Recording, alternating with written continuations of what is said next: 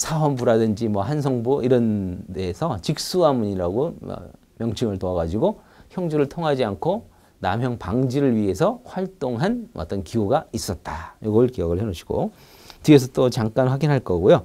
그 다음에 양가로 2번 행영기관 하면 중앙과 지방이 있는데 그 중에 이제 중앙, 중앙 행영기관은 시험에 조금 나옵니다. 그래서 기본적으로는 이제 의정부 6조가 있는데 6조 중에 형사사건을 관할하는 게 형조였죠.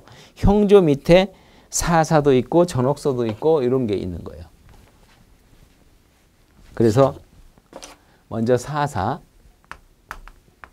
네 가지 사자 들어가는 게 있어요. 여기 문장을 보면 둘째 줄에 보면 형조에는 사사를 두어 사형에 해당하는 중지자에 대한 복심 업무, 재심사 업무를 담당하는 상복사가 있고 율령 고율사, 감옥 범죄수사 장금사, 포, 포로와 노예 호적 소송인 장예사. 요거는 기억을 꼭 해놓으십시오. 상복 고율 장금 장예. 상복사 고율사 장금사, 장예사 이렇게 네 가지가 존재했다. 각각의 각각의 무엇을 다루는 것까지 알아두셔야 돼요. 상복사는 복, 복심 업무. 그러니까 1심 끝나면 2심, 3심. 그래서 복심 업무. 이 단어는 그 내용의 축약이기 때문에 아 복자 복자 그죠? 이런 식으로 해서 내용을 기억을 하시면 돼요. 암기보다는 고율사 하면 율 하면 율령이죠. 예. 율령을 관장하는 기관은 고율사다. 그다음에 장금사는 예, 이거는 좀 매치가 안 될 수 있겠는데 감옥 업무, 범죄 수사 업무. 말하자면 오늘날로 말하면 검찰의 업무예요. 검찰. 그죠? 검찰의 업무를 담당하는 기구가 바로 장금사. 장애는 어, 노예. 노예의 예자와 연결시키면 되겠죠. 노예의 뭐 호적, 포로, 소송 예, 등등. 이게 장예사. 그래서 네 가지 이런 것이 있고 요러 요러한 내용을 다루고 있다. 이렇게 매치를 꼭 지키셔야 되겠고 그 다음에 형조의 예, 또 교정기관이 있었죠. 전옥서. 아까 고려시대 국원기관이 바로 전옥서라고 그랬죠. 예. 조선시대도 똑같은 명칭으로 전옥서라는 명칭으로 예, 교정기관 내지 교정 시설 이렇게 연결이 됩니다. 자, 그래서 여기 문장들 꼭 기억을 해 놓으시고 그 다음에 지방은 됐고요. 오른쪽 페이지에 양가로 삼은 형벌의 종류하면 바로 태장도유사가 나오죠. 예, 태장도유사. 아까 조선 고려 시대에도 어, 설명했던 그 내용과도 이제 관련이 있는데 다시 한번 설명을 드리면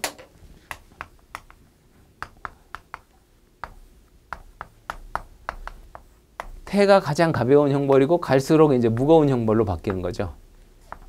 그래서 곤장, 작은 곤장으로 10대에서 50대까지 요거는 이제 그 다음 무거운 곤장으로 해가지고 60대에서 100대까지 어, 이런 식으로 이제 집행을 하는 거예요.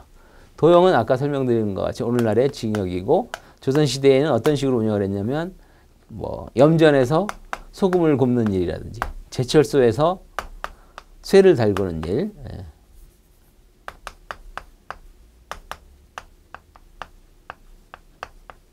이런 일들을 종사하게 했어요. 그러니까 이건 작업을 시행을 하니까 징역과 유사하다 이렇게 해석이 되는 거죠. 유형은 뭐 조선시대 유배 같은 거 우리 사극물에서 많이 봤죠. 바로 유배입니다. 그러니까 오늘날 무기금고라고 하는 거죠. 그리고 사형은 뭐 사약을 먹일 수도 있고 목을 베는 차명도 있고 여러 가지 형벌이 있어요. 자세한 내용은 조금 이따가 이제 확인을 하고요. 자, 그래서 21페이지 방걸 1번에 O형에 태형이 있고 장형이 있고 도형이 있죠. 도형에서는 우리가 좀 확인할 부분이 있습니다. 자, 첫째 줄에는 강제 노동형이고 오늘날 징역형이고 그 다음에 둘째 줄에 보면 구금하여 염장에서 소금 굽거나 제철소에 쇠를 달구는 등 중노동에 종사했다. 그래서 오늘날 징역이 되는 것이고 그 다음 밑줄을 한번 거보실까요? 여기서 장 60대에서 100대를 반드시 평가했다. 그러니까 도형에 처한다 해서 바로 그냥 오늘날 교도소에 집어넣고 마는 게 아니라 이때는 전옥서가 되겠죠? 어떻게? 반드시 장형을 60대에서 100대 사이에 때리고 나서 그러니까 예, 조선시대에는 요거 태형, 당형, 체벌형이 되겠죠. 태형, 장형, 이게 이제 기본이 되는 거예요. 말하자면. 기본형이. 그래서 장형을 부과한 이후에 마, 장형을 때리고서 곤장 60대에서 100대를 때린 다음에 예, 전옥서에 들어가 가지고 쇠를 달군다든지 이런 걸 시켰다는 뜻이죠. 그 다음에 이어서 다음 줄에도 밑줄을 그어보세요. 도용의 복역 기간은 단기 1년에서 장기 3년까지 1년, 1년 6월, 2년, 2년 6월, 3년에 몇 종? 5종이다. 이거 시험에 나온 적이 있습니다. 이게 헷갈리게 는 예전에 시험에서는 어떻게 나왔냐면 단기 1년에서 3년까지 뭐 3종이다. 이렇게 가지고 틀리게 나와서 되게 어려웠죠. 지엽적인 문장인데. 그래서 여기 제가 자세히 일부러 적어 놨어요. 6개월 단위로 끊기죠. 1년, 그 다음은 1년 6월, 그 다음에 2년, 2년 6월, 3년. 이렇게 해서 총 5종이고 기간은 가장 짧은 건 1년부터 시작해서 6개월씩 추가하다가 예, 맨 끝에 3년이죠. 3년. 아, 이렇게 다섯 가지 종류가 있었다. 네. 이거를 기억을 해 놓으시고. 그러니까 오늘날의 징역형이라고 그러면 최장 50년까지 가능한데 아, 예전에는 도형은 이렇게 짧았어요. 3년이 넘어갈 정도면 아예 유형. 이렇게 강하게 처벌을 하는 거죠. 자, 그래서 요거를 확인하시고 다음 페이지에는 유형이 나오죠. 4번에. 유형은 이제 유배 보내는 거. 유형에도 도형과 마찬가지로 장형, 곤형, 곤장인 장형을 병과한 이후에 장형 때리고 유배 보냈어요. 그냥 보내는 게 아니라. 자, 어디 나오냐면 어, 일단 여기 아, 일단 내용부터 보죠. 유형은 중범죄 중한 중죄를 범한 자에게 먼저 아, 먼 지방 귀양본에 죽을 때까지 고향으로 돌아오지 못하게 하는 것 유배죠. 오로지 왕명에 의해서만 석방 가능했다. 그리고 정치범 등 고관의 범죄에 대한 사형 완화 수단으로 사용했다. 그래서 정치범의 신분 그 신분제 사회였으니까 신분이 높은 자들에게는 사형을 집행하는 대신 사형을 면하는 대신 그럼 넌 평생 어느 지역에서만 가서 살아라 해서 유배를 보내는 방식으로 운영을 했고 그 다음에 유형에는 장형이 병과되었다. 여기도 밑줄 그어놓으시고 도형에도 장형병과 유형에도 장형병과 장형을 꼭 때린 다음에 도형이나 유형에 처하게 했다. 그리고 오늘날 무기, 무기금고다. 이렇게 나와 있죠. 그 다음에 밑에 종류를 보면 나번에 기억, 니은, 디귿해서 중도부처, 안치, 천사라는 게 있죠. 중도부처, 안치, 천사는 어, 그 신분에 따라서 어, 유배 보내는 유형의 종류가 달라지는 거예요. 중도부처는 중범죄를 저지른 관원.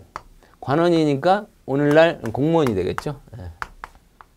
관원이 중죄를 저지르면 중도부처라고 해서 일정한 지역에서 어, 타지에서 평생 살아야 되는 이런 공간. 그 다음에 안치라고 하는 거는 세 가지가 있는데 요거는 이제 왕족이라든지 고관 이런 사람, 친분이 높은 사람들에게 유형을 부과할 때 했던 것이고 어, 요거는 본향 안치라는 것도 있고 위리 안치, 절도 안치 이렇게 세 가지가 있어요.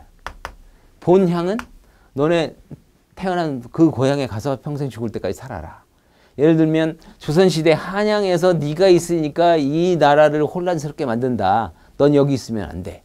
그래서 뭐 어디 뭐 충청도 어디 전라도 어디 뭐 경상도 어디에 가서 죽을 때까지 거기서 살아라. 자기 본향, 그 지역에 가서만 평생 살면 그만이에요. 사형을 면하는 대신 이렇게 해주마. 이런 방식이에요. 그 대신 아까 첫째 줄에서 본 것처럼 왕명이 있기 전까지는 어떻게? 죽을 때까지 여기 살아야 돼요. 예외적으로 왕명이 있는 경우에 한해서만 뭐 한양에 올 수 있다. 이렇게 해석이 되는 거죠.